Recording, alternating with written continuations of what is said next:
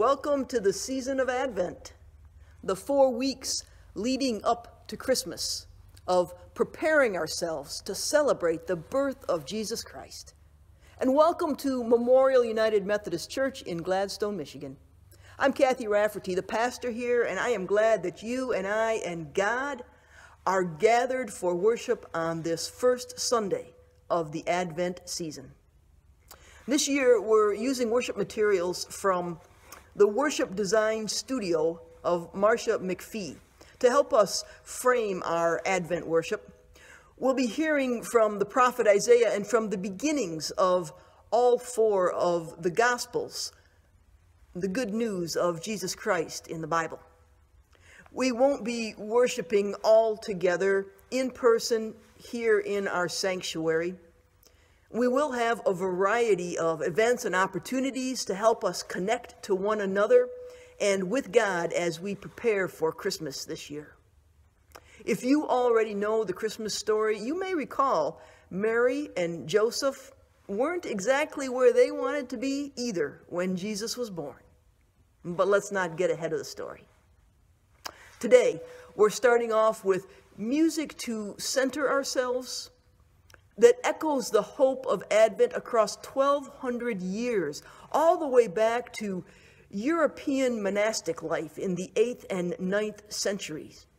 O come, O come, Emmanuel. And then our praise team will introduce us to a song we'll be hearing throughout Advent this year, I Believe, Even When, based on the words of a poem found written on a wall during the Holocaust as they sing, pray, and light the first candle on our Advent wreath, the first candle of hope, I would encourage you to light your own candles of hope wherever you are. And then please join in singing the Advent hymn of our Methodist heritage, written by Charles Wesley not quite 300 years ago. Come, thou long expected Jesus. This year, our Advent season is going to be all about believing even when it's 2020. About sharing our music and shining our light, preparing ourselves and the times in which we live to more fully experience the God who was born to be with us, Emmanuel, wherever we are. So let's get started.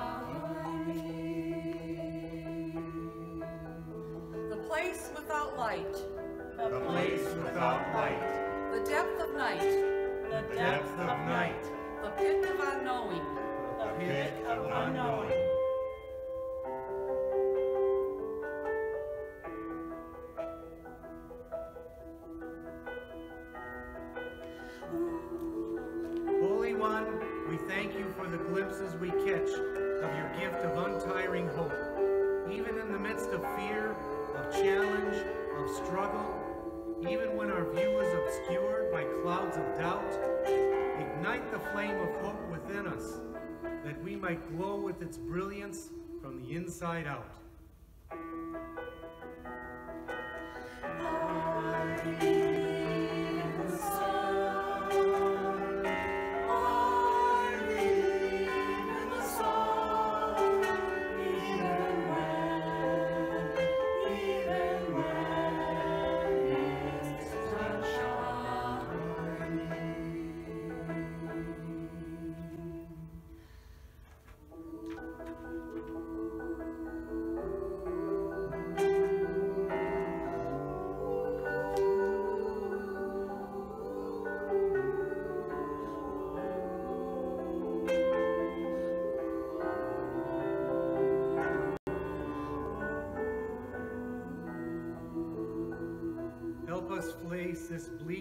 of the soul and embrace it as a womb of rebirth.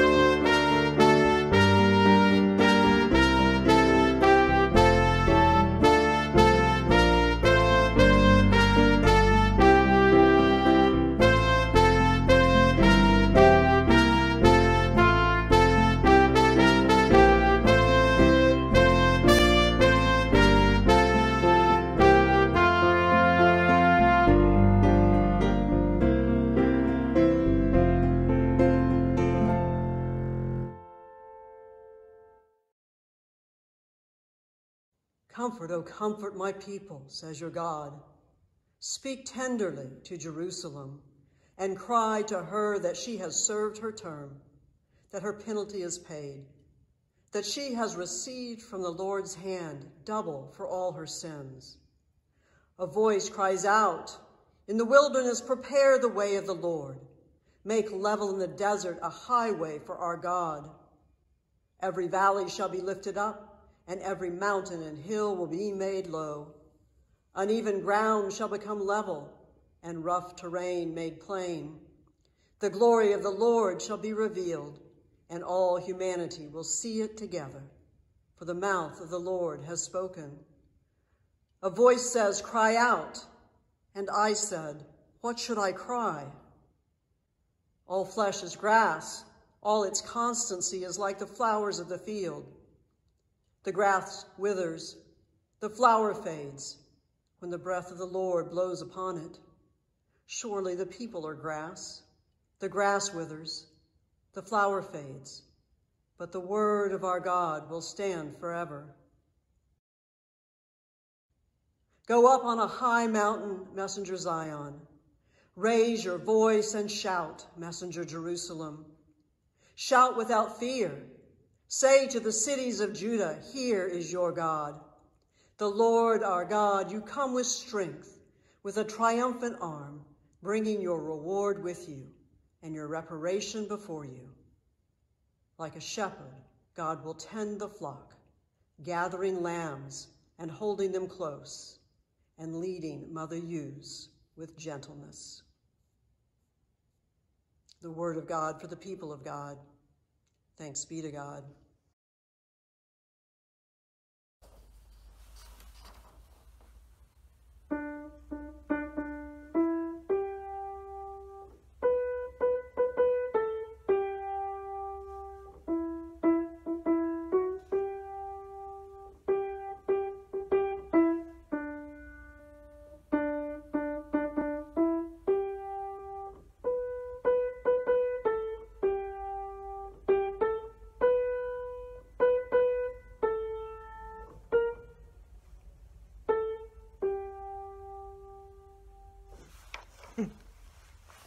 Hi, kids.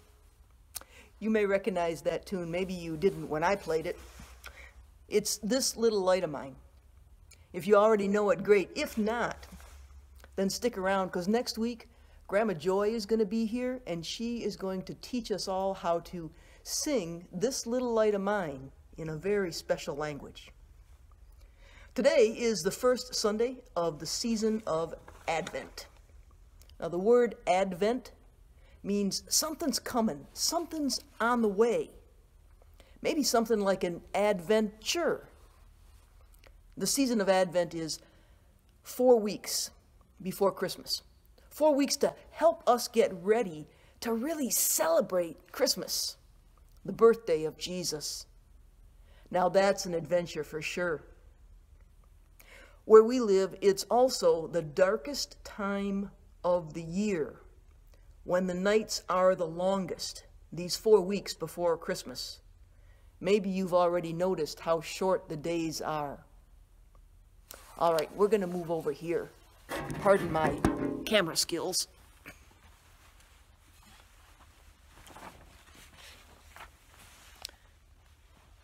This is our Advent wreath. There we go.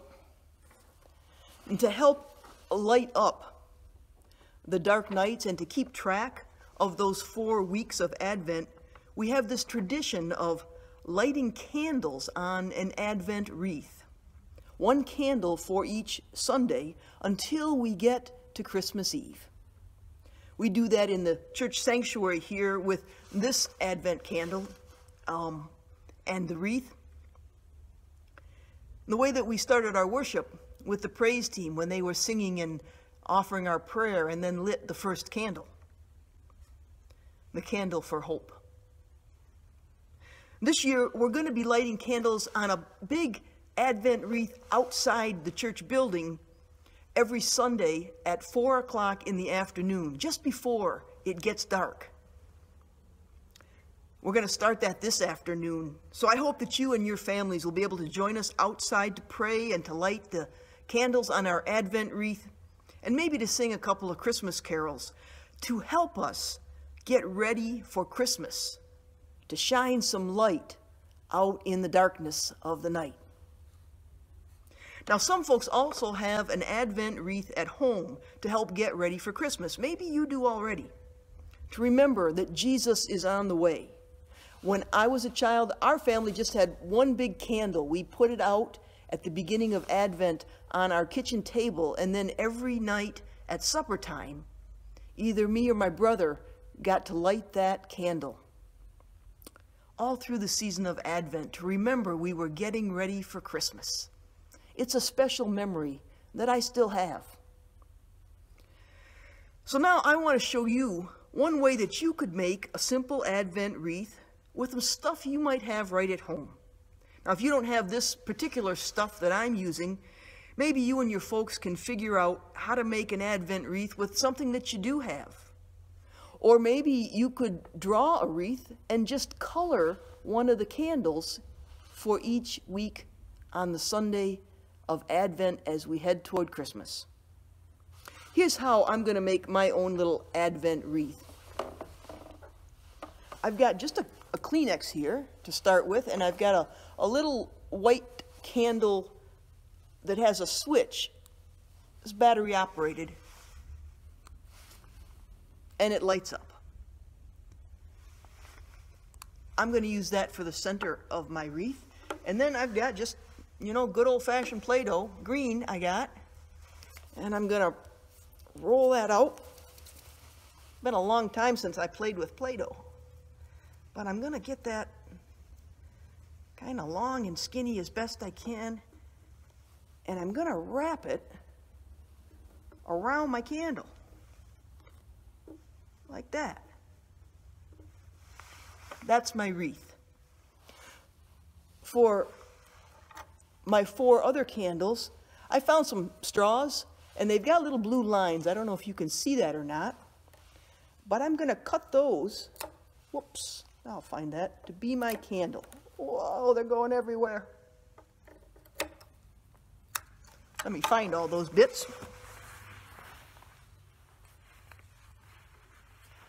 All right.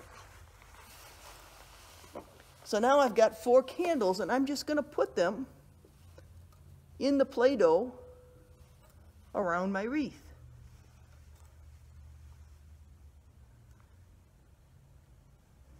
Now, you know, and I know, that it's not safe to be playing with matches and to have open flames if there aren't some adults around to help.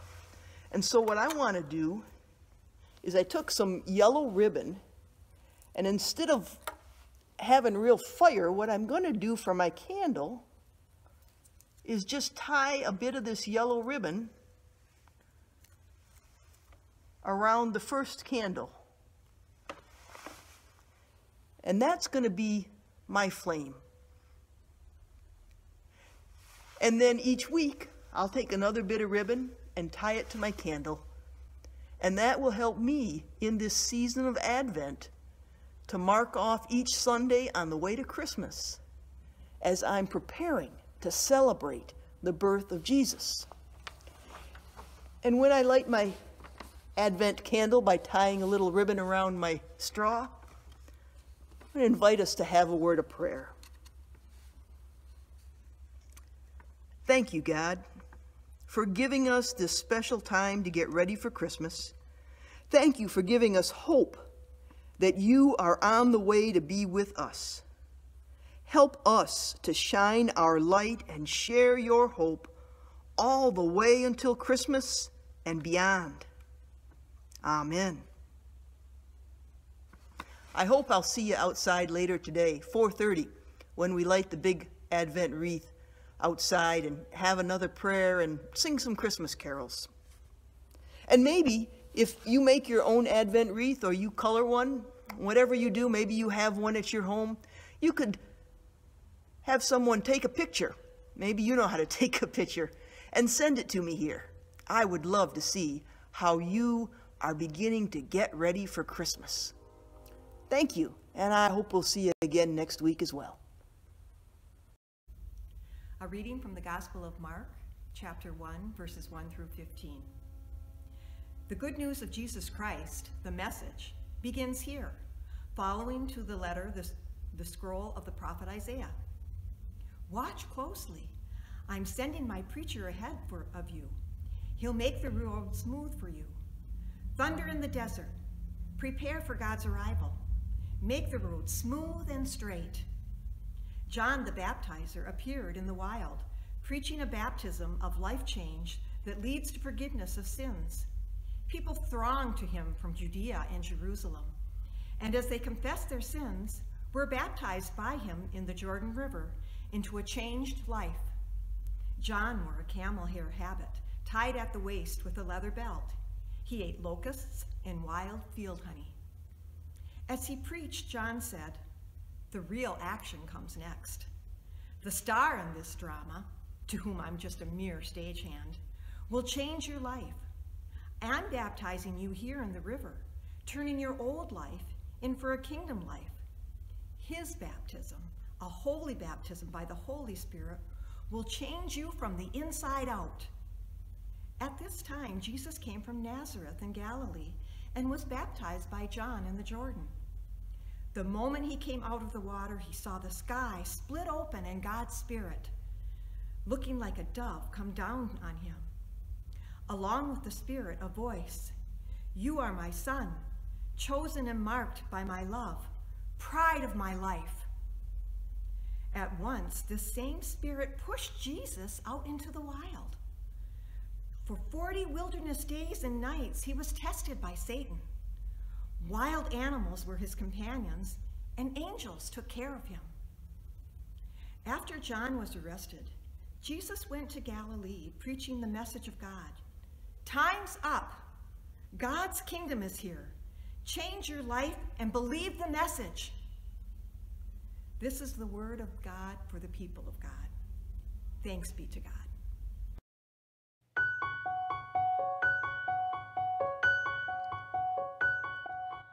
I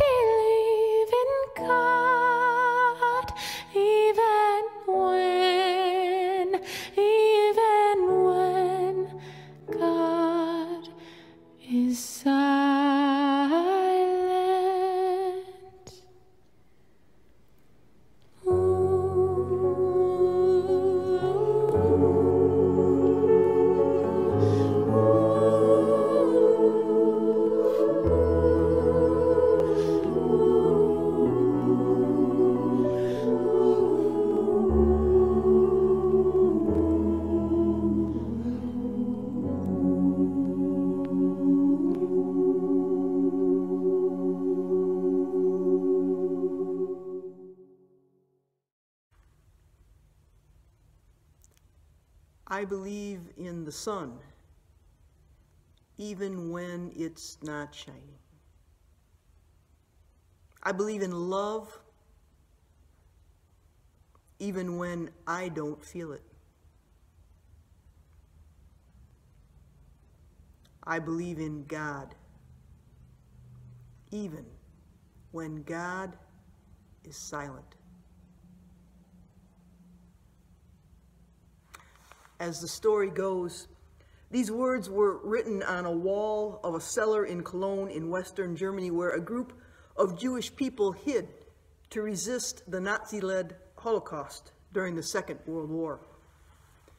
There are other stories about the origins of these words, but the gist of the stories is that these words expressed a hope, a trust in God beyond the present circumstances, beyond desperate days, beyond persistent longings, beyond the silence of the moment.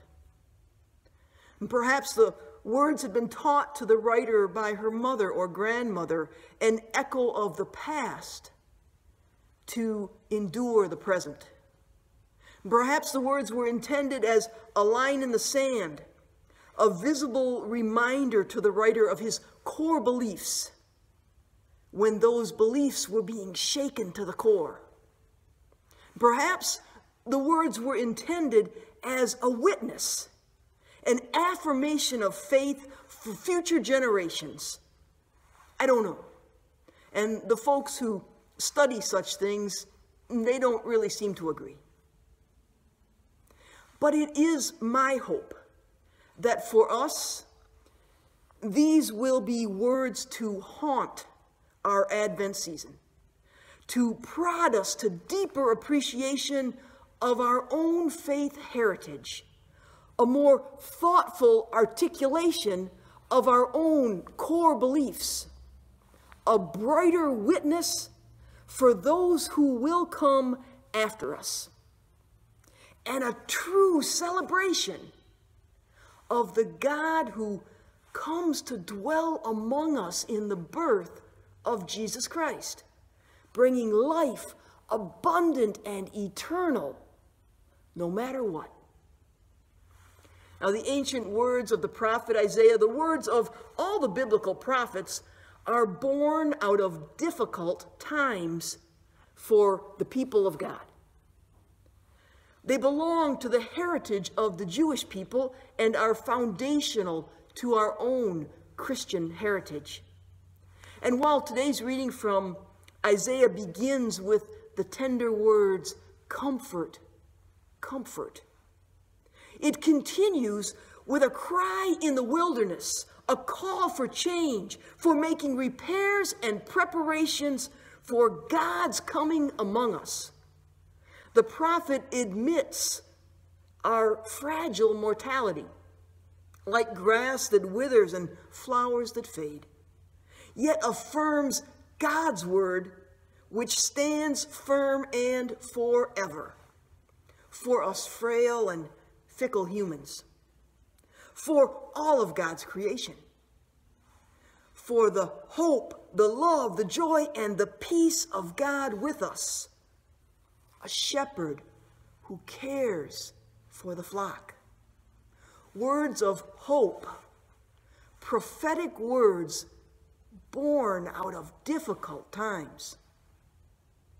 Mark's gospel, the first gospel to be written and the shortest of the four gospels, begins with an echo of those prophetic words of Isaiah.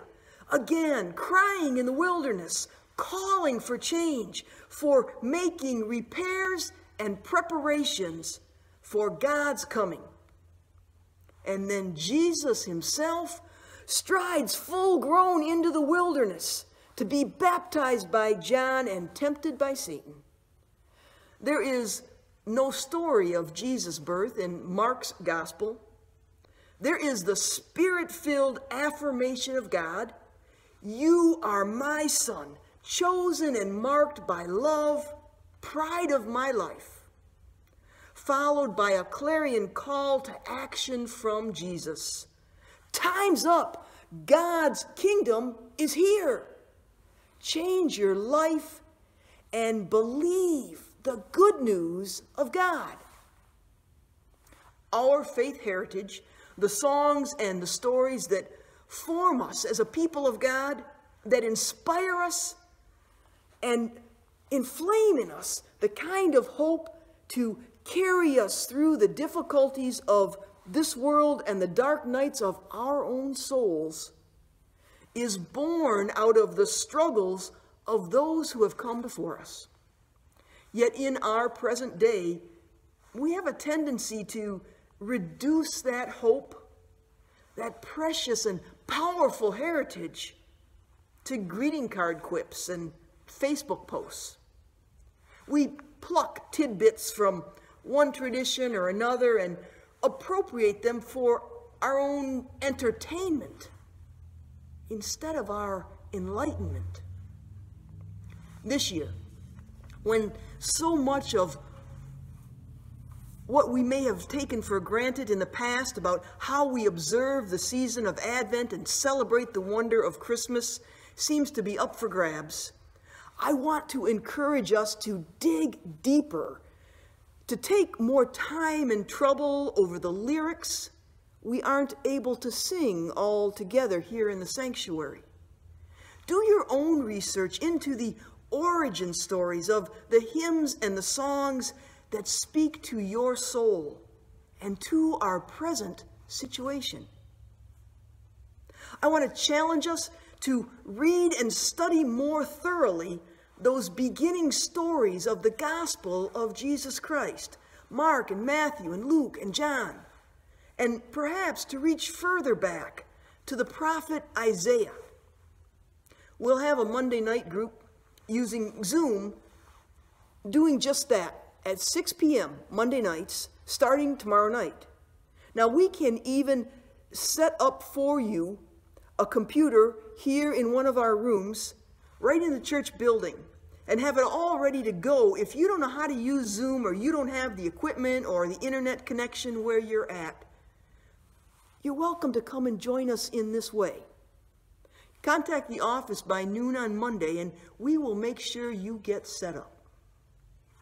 I want to encourage us to practice the traditions of Advent and Christmas in ways that will help us and those we love to create our own memories and stories, maybe even songs, born out of our experience this year. We've got a packet full of resources to help you with that. And you can pick up a packet here at the church office or let us know and we'll make sure you get one wherever you are. Maybe this is the year to keep a journal, to take photos, to draw pictures, to write poetry. Someday, our words and artistic expressions may be the hope that someone else needs to hear. The songs we sing and the stories we tell in this season of Advent and in our celebration of Christmas are not intended to make us feel comfy and cozy or to distract us with holiday cheer. If that's what you're really looking for, we've got Rudolph and Frosty and the Hallmark Channel. But if we're hoping for something more than that this year, we have what we need in our faith heritage. The songs we sing and the stories we tell in this season of Advent are cries in the wilderness, calls for making repairs and preparations for God's coming. God among us, God with us. The songs we sing and the stories we tell challenge us to change our lives and change the world, to usher in God's kingdom with hope and love and joy and peace for all people, for all creation, born out of the coming of God into our world, into our lives, to be with us in the presence of Jesus Christ. The songs we sing and the stories we tell in this season of Advent have been born out of the injustice, the oppression, the hate, the violence, the plagues, and the grief, the most difficult trials that the people of God have experienced, born to be flickers of light through the longest nights, to inspire us to believe even when the sun isn't shining, even when we don't feel love, even when God is silent. These songs and stories of Advent are ours to sing and ours to tell, so that we will be the ones to fill the night with music and light, to offer hope to our hurting world as we proclaim the good news that Jesus Christ is on the way. Thanks be to God.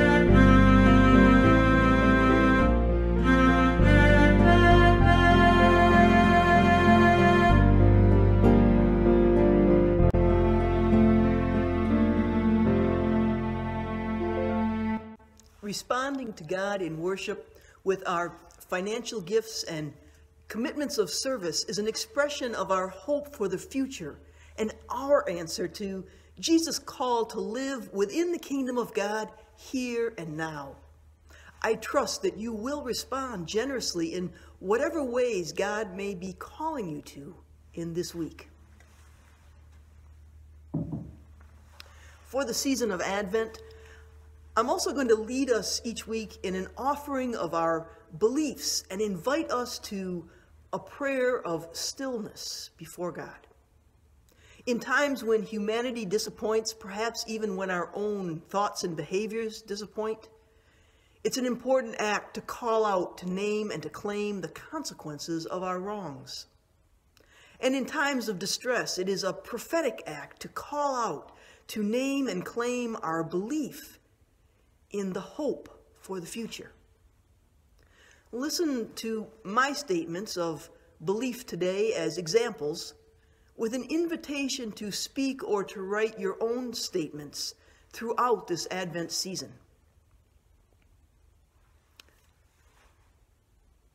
I believe my fear and uncertainty sometimes hide behind anger. And I believe facing the uncertainty will disarm my fear better than lashing out. I believe there is much to grieve this year in my own life and in the world. And I believe that the depth of our grief flows from the strength of love.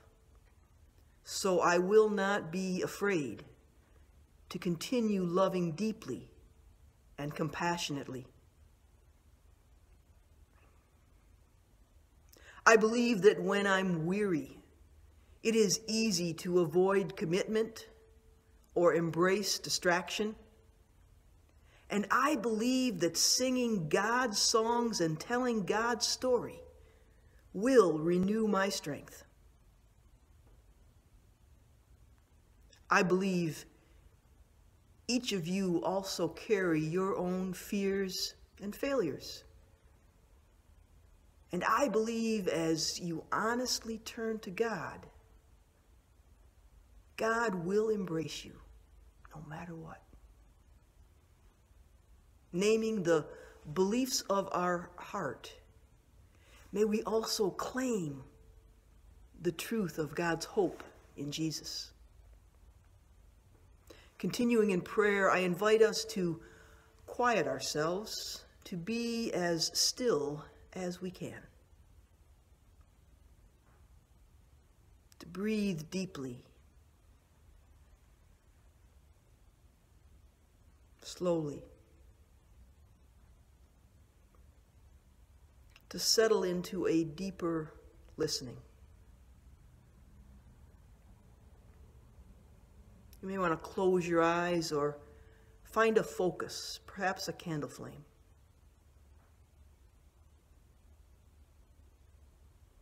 And continue to breathe slowly and deeply, and to be still. The gentle pull of God is often lost amidst the rush of all our obligations which lay claim to us. Yet just beyond the frantic pace of our restless feet lie deep, still pools of quietness, the dwelling place of God.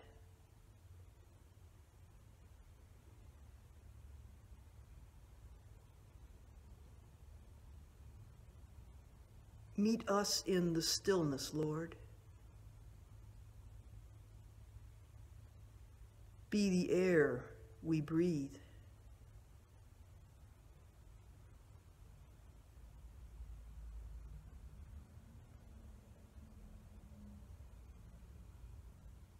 Meet us in the stillness, Lord.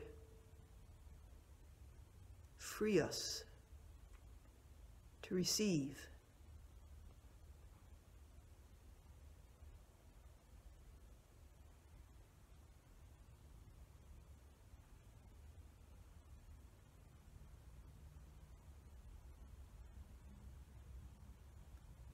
In this stillness, Lord, as we listen to you. Search our hearts and settle our minds.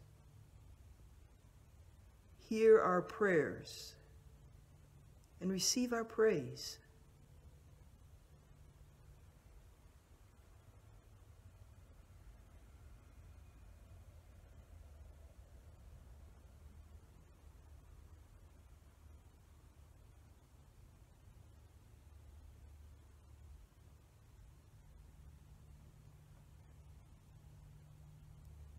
Meet us in the stillness, Lord. Be the word we need.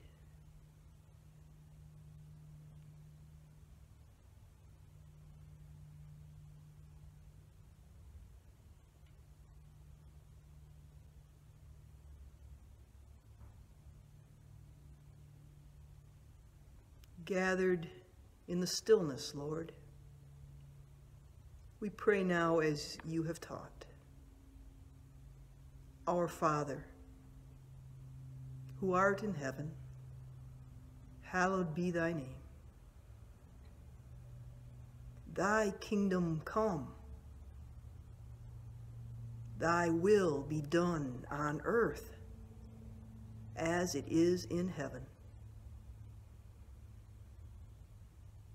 Give us this day our daily bread, and forgive us our trespasses, as we forgive those who trespass against us.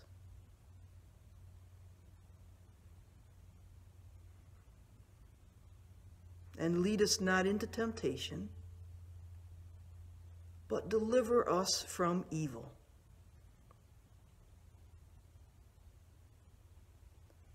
For thine is the kingdom, the power, and the glory forever. Amen.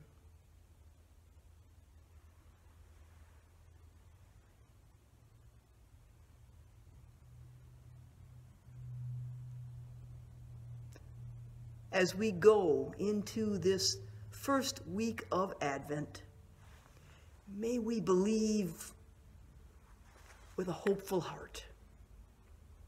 May we believe and shine our light. May we believe because we have songs to sing and stories to tell in the name of God, who is born to be with us, Emmanuel.